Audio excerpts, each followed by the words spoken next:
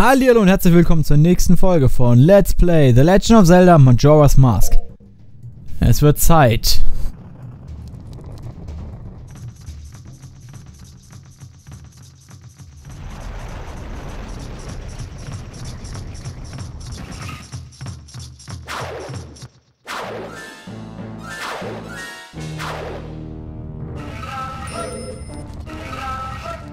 Da ist unser Gegner.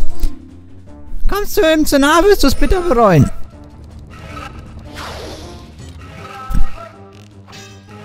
Okay, da weicht er aus.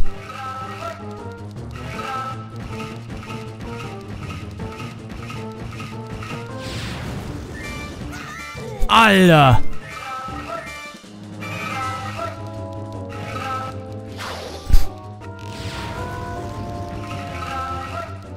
Ich habe das Gefühl, dass ich mit Pfeil und Bogen hier nicht weiterkomme. Äh, Link, nicht an der Blume glitschen, bitte. Alter, was macht der bitte?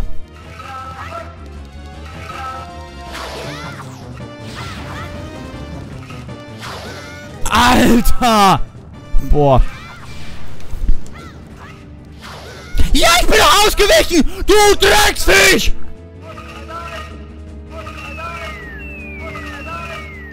Ich habe echt keine Ahnung, wie ich den töten muss. Ja, danke, dass du mir meinen L-Autofokus wegnimmst. Hallo.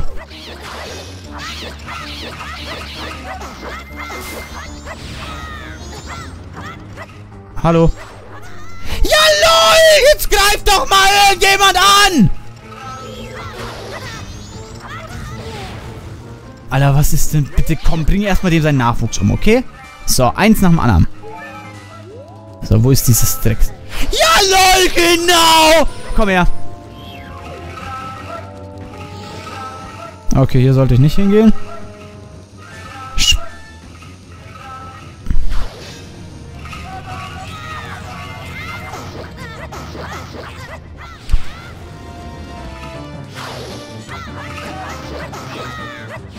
Also eigentlich soll man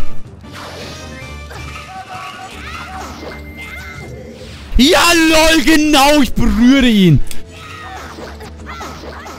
Bring ihn einfach um.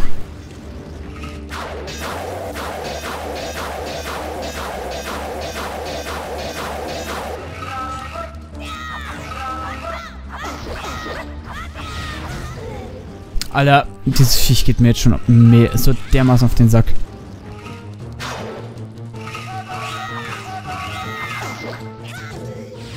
lol, wie er mich einfach mit umfallen will. Also, hallo?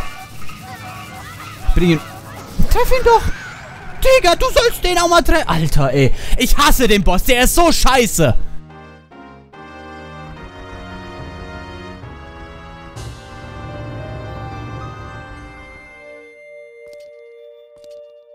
Wie gesagt, nichts an dem Boss ist gut. Nichts an, nichts am Sumpf ist gut. Ich bin echt kein Fan von dem Gebiet. Es ist echt, du fühlst dich einfach nur unwohl, wenn du das spielst. Ich meine, damit passt es natürlich zum, äh, zum Rest dieses Spiels. Ach, hier wären Bomben gewesen. Ich hätte ihm richtig wehtun können.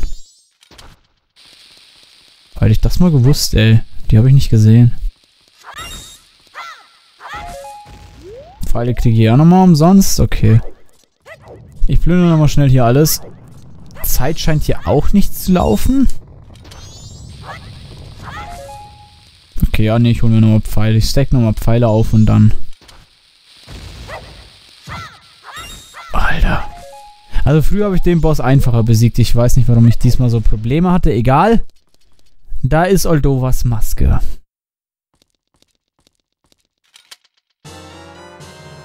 Oldova, ne, Odolvas Vermächtnis ist auf dich übergegangen.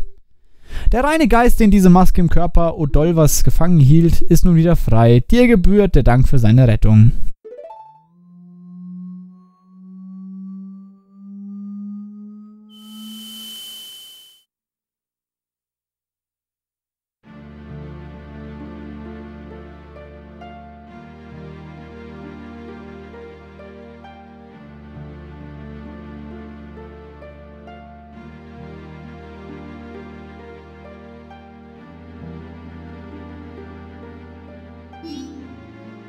Was ist denn das?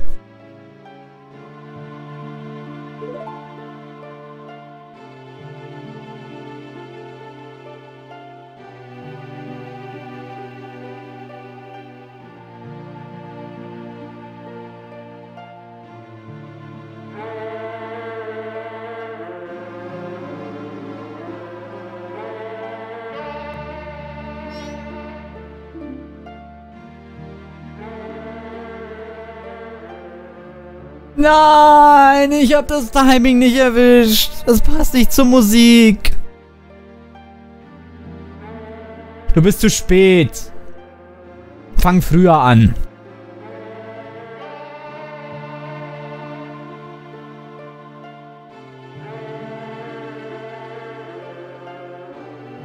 Wird das besser? Passt du irgendwann zur Musik?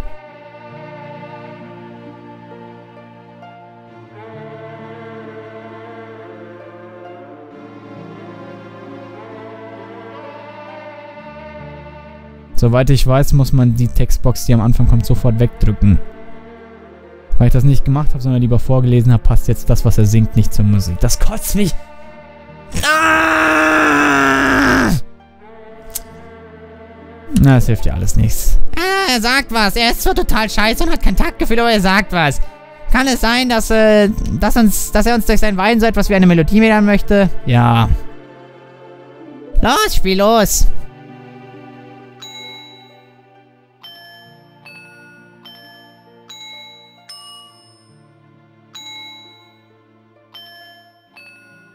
Ich hätte so gern die Melodie im Takt getroffen. Das klingt so gut, wenn der im Takt singt.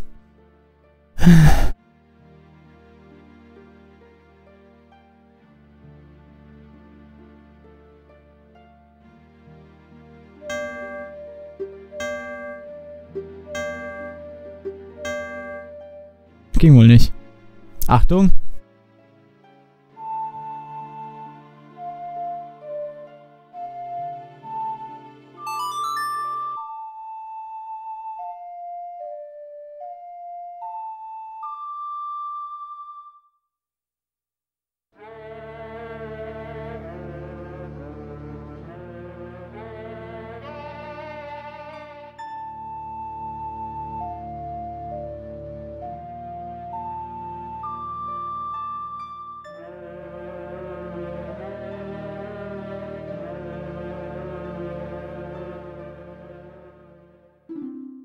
Du hast den Gesang des Himmels erlernt.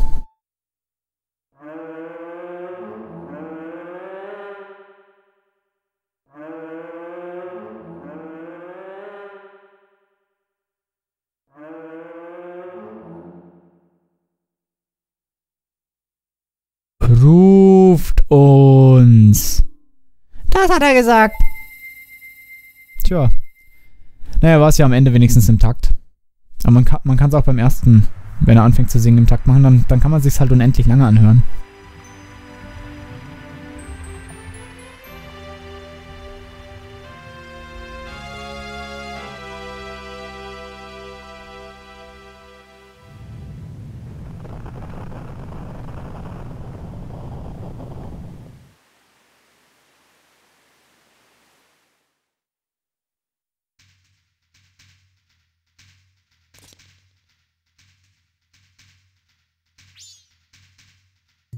Diese vier, von denen Tal Tael gesprochen hat. Denkst du, er meinte den Geist, der in dieser Maske gefangen war? Oh, oh, hey, du hast dich mal gar nicht so dumm angestellt, außer beim finalen Bosskampf, aber scheiß drauf. Hast du sowas schon mal gemacht? Hahu, ha, hey. Ja, ja, dachte ich mir. Diese Idiotie sah schon ziemlich geübt aus. Lass uns, lass jetzt nicht nach, okay? Mach so weiter und äh, rette die anderen drei. Hey, äh,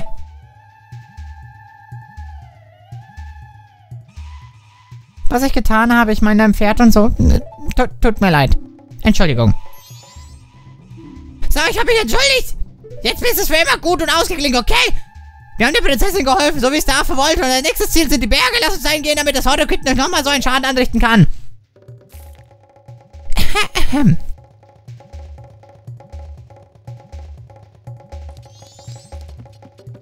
So, ist hier was an der Seite? Wir gucken natürlich gleich, was da los ist.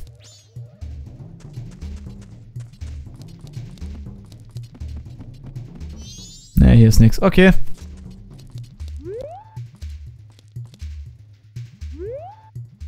Äh.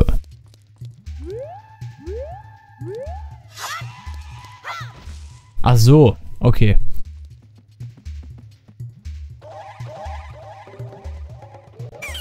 Wer bist du?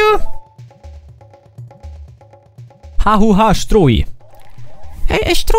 Erfreut dich kennenzulernen. Ich bin die Deko-Prinzessin. Kann es sein, dass du auf Geheiß des Affen gekommen bist? Ha! Aha, dachte ich's mir doch. Weißt du, du riechst ein wenig nach Affe. Hoi.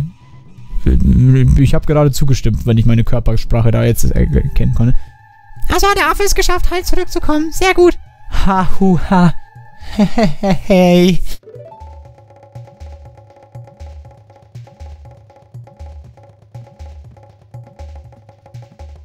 Ich habe schon befürchtet, mein Papa würde den Affen beschuldigen, mich entführt zu haben. Ich dachte sogar, er würde, zu weit, er würde so weit gehen, den Affen zu bestrafen. Ha ha ha ha ha ha. Ha, hu, ha, hey. Nicht dein Ernst.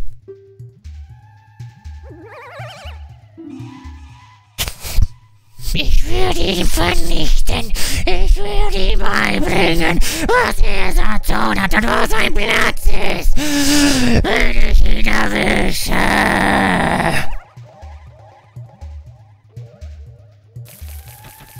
Gut, wir haben keine Zeit zu verlieren. Rasch, Sir Strui. Hiermit sind Sie ein echter Ritter. Und, und, jetzt bitte trag mich in den Palast. Ja, ich habe etwas. Danke Navi 2 für deine Anstrengungen und Bemühungen. Das hier ist einer der dümmsten Parts in dem Spiel, aber egal. Die, Deko, die Deko-Prinzessin hat in der Flasche Platz genommen. Zwar ist das ein bisschen eng, aber naja, wenn du schnell bist, dann, dann geht das schon. Wir dürfen keine Zeit verlieren. Springe ich zum Palast. Süß. Süß. Die dicke Prinzessin. Sollte ich hier eines Tages mal rauskommen und mein Leben, mein restliches Leben als Deku-Stroi verbringen, dann ist sie natürlich meine Waifu, die ich heiraten werde. Ist ja klar, gell? Okay. Jetzt musst du mich ja mal kurz entschuldigen, Deko-Prinzessin. Ich habe noch was zu tun. Da hinten ist etwas, was ich gerne wissen möchte, was es ist. Heute ist immerhin nur der letzte Tag, also nichts Schlimmes. Da hinten war eine Truhe, die ich letztes Mal nicht geöffnet habe. Ich würde sie gerne jetzt öffnen und wissen, was drin ist. Oh, oh, oh, Hilfe.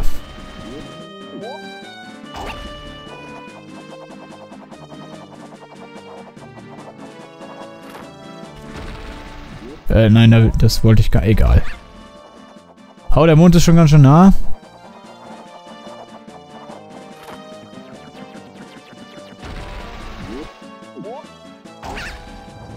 Ja, ja, sei still, Mond, du hast keine Ahnung. Also, ich muss jetzt da hier rüber. Kann von da aus dann darüber, scheinbar.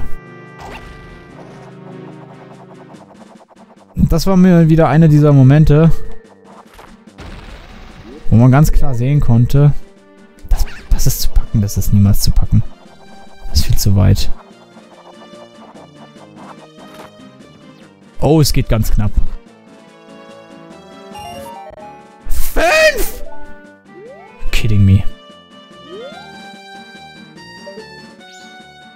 Kidding me.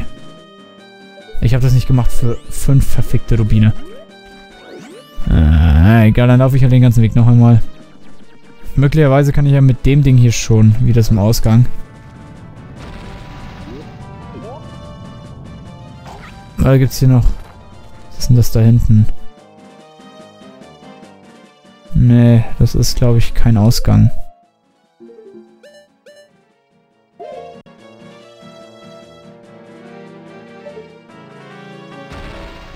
Oder doch? Ich versuch's. Ich guck, was da hinten ist. Aber eh mehr als genug Zeit. Wait, das ist noch eine Truhe. What? Ich gehe da, ach so, ich gehe davon aus, dass wir da hinten hingehen müssen. Oh, die sieht sogar ein bisschen wertvoller aus. Erzteil. Komm schon.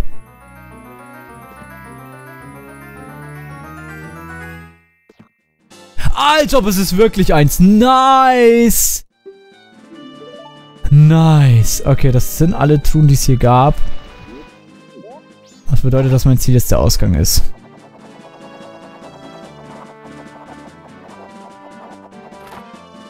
Okay. Easy.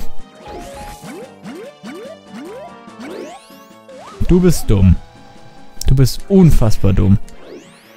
Egal, so. Dann gehen wir mal wieder. Nee, warte.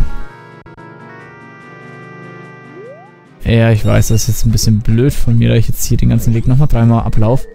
Aber da hinten, wenn das nicht der Ausgang ist, wo komme ich denn dann hin, wenn ich... Da ist die Fee! Ich muss dahin! Da ist garantiert die Fee. Und wenn da sonst nichts ist, dann ist da bestimmt die Fee.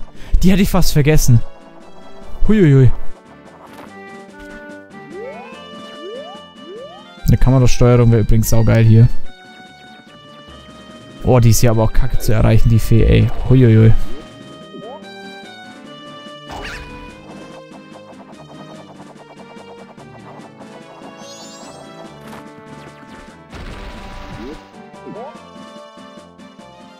Da ist 100% die Fee.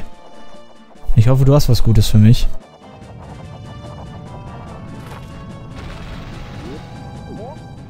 Weil da hoch komme ich nur so, ne? Ja.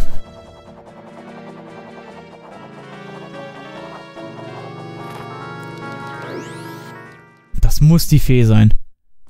Ja, ist sie.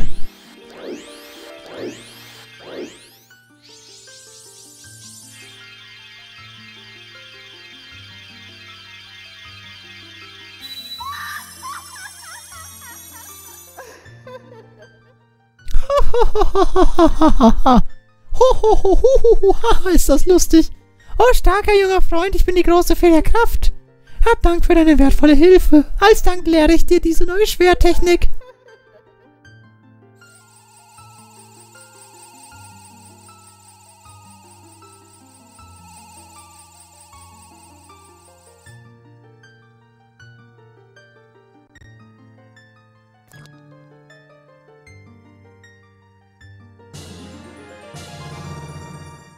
Die Wirbelattacke erlernt. Damit kannst du jetzt eine Wirbelattacke mit Magie machen. Ja, passt. Besuch mich wieder, wenn die Strapazen deiner Reise zu schwer auf den Schultern lasten. Tschüss. Ist das nicht lustig? Gut. Dann schließen wir die Story hier ab. Ihr seht ja, wir sind schon relativ nah wieder an dem, am Ende der drei Tage. Wenn man das Casual spielt, ist das gar nicht so schnell zu machen. Wenn man natürlich 100% von dem Spiel kennt und weiß, wie das ganze Spiel funktioniert, dann hat man da jetzt nicht so die Probleme, sag ich mal. Aber ihr habt ja gesehen. Zumal ich auch sagen muss, die Gamecube-Version spielt sich schon schwierig. Also ich weiß, das ist, das ist wieder billige Ausrede und alles, ja. Sie spielt sich trotzdem echt nicht so einfach.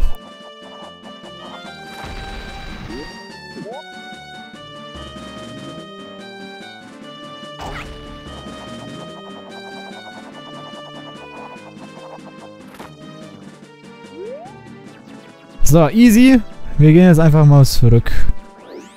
Und geben die Prinzessin da ab, wo sie hingehört. In der Hoffnung, dass der Affe noch lebt. Es wäre wirklich sehr ungünstig, wenn der Affe nicht mehr leben würde. Da wäre die, die, die Prinzessin... Übrigens kann ich jetzt Dekonüsse abwerfen. Ihr seht es auf B, ne? Habt ihr gesehen, gell? Das geht schon die ganze Zeit, aber jetzt ist es mir mal aufgefallen. Hihi. So, alle Monster dürften jetzt weg sein. Alter, die Mu Musik haben sie echt gut gemacht, dass sie da immer das Ding mit reinziehen, ne?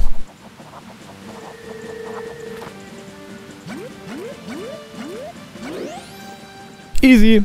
So. Gut. Yo, Prinzessin, wir sind daheim, okay?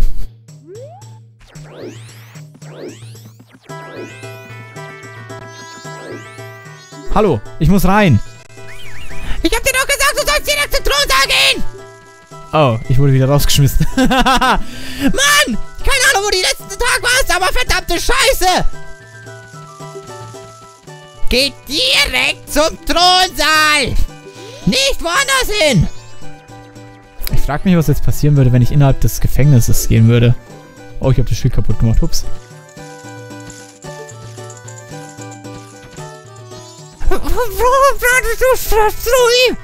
Beeilung, öffne die Flasche und lass mich direkt vor meinem Vater frei. Bestrafung! Bestrafung! Alter! Das ist keine Bestrafung, das ist Mord!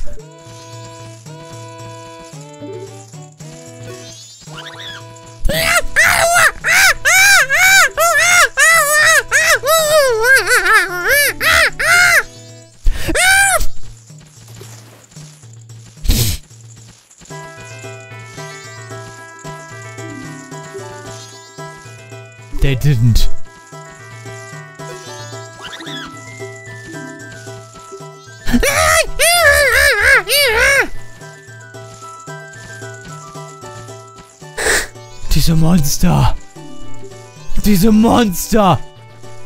Diese Monster. Komm her. Was ich mal ausprobieren will, was ist, wenn ich jetzt nochmal rausgehe und sie irgendwo draußen rauslasse?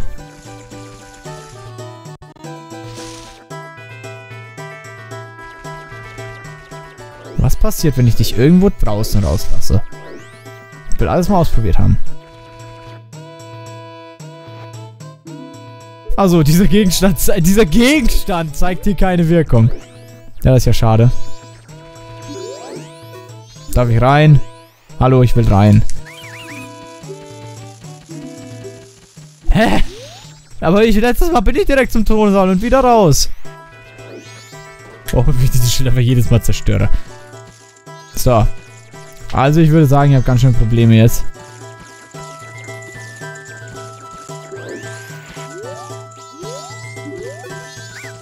Bestrafung! Bestrafung! So, Freundchen, jetzt ist dein Ende besiegelt. Ich spreche erst mal mit dem Butler. Guten Tag, es ist furchtbar traurig, aber der König lässt sich durch nichts beruhigen.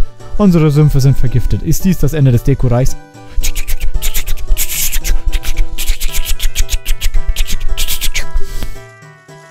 Was willst du mir sagen? Ja, oh Gott, da steht uns bei.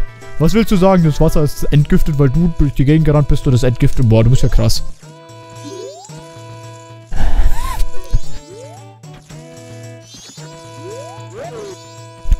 Erst damit, dass er nicht heißt.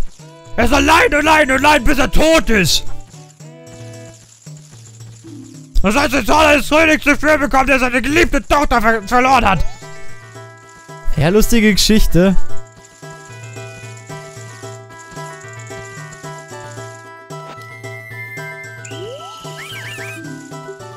Okay. Schön, dass alles zensiert wurde. Okay, also sie schmeißen ihn einfach raus.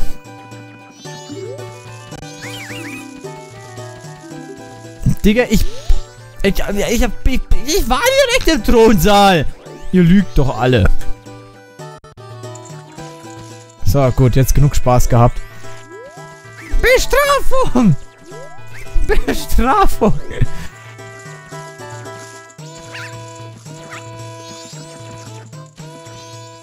Entschuldigung bitte, ich habe etwas anzukündigen. Ich meine... Was willst du?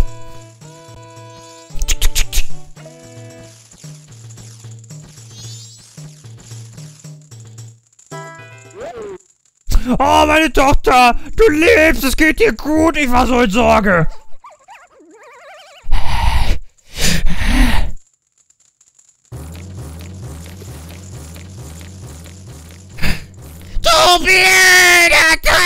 Drecksagonie, wenn ich euch erwische! Was macht ihr hier? Lasst meinen Armaffen frei!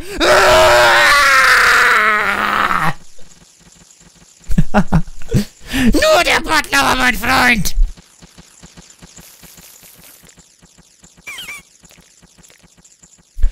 Ach ja, es tut mir so leid, aber mein Vater neigt ständig zu so, so, so dummen Entscheidungen. Ich bin ein Kind und ich bin 20 Mal klüger als er. Das erinnert mich fast an die Prinzessin Zelda, die ist in einem befreundeten Königreich beheimatet. Der, ihr Vater ist auch total blöd. Er hat geglaubt, Ganondorf wäre gut. Das war ein Idiot.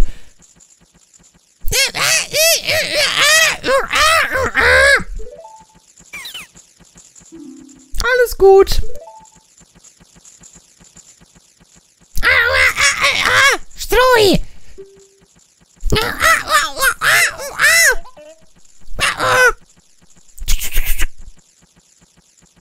Als Zeichen unserer Dankbarkeit hat unser Butler etwas für dich vorbereitet. Bitte nimm's an. Du findest deine Belohnung im Schrein rechts des Palastausgangs. Jetzt kommt, glaube ich, etwas, wovor ich Angst habe. Es ist ein Fehler von mir, vorschnelle Entscheidungen zu treffen. Das ist, nun, das ist mir nun endgültig klar geworden. Merkwürdiger Reisender, es gibt nicht viel, was ich für dich tun kann. Bitte ruh dich aus, bevor du wieder gehst.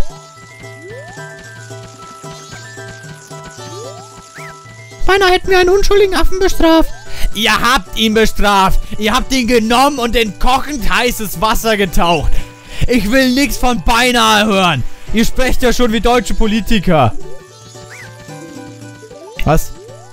Ist der vergiftete Sumpf wieder begehbar? Das bedeutet, wir können nur an Orte gehen, die vorher verschlossen waren. Geil. Auf jeden Fall bin ich überglücklich, dass die Prinzessin halt zurückgekehrt ist. Du kannst dich in vielerlei Wesen verwandeln. Boah, das wäre krass. Wait, fliege ich jetzt nicht mehr raus? Das wäre cool.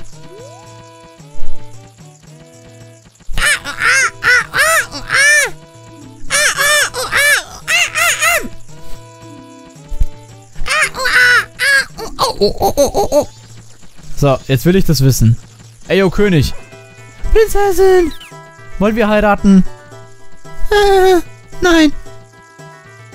Unser Butler mag dich wirklich sehr. Er hat gesagt, er wartet im Schrein rechts des Palastes. Ganz auf dich. Ja, trotzdem möchte ich nie wieder in einer Flasche reisen. Fliege ich raus, wenn ich jetzt den hier mache? Nee, es ist ihnen egal. Das ist ja nice. Wenigstens das. Wenigstens das.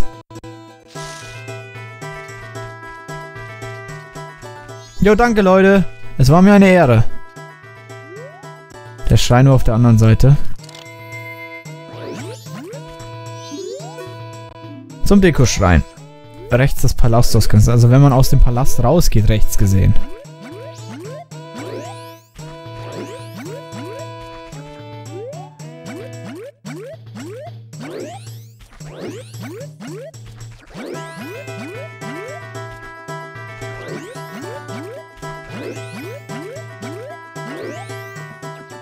So.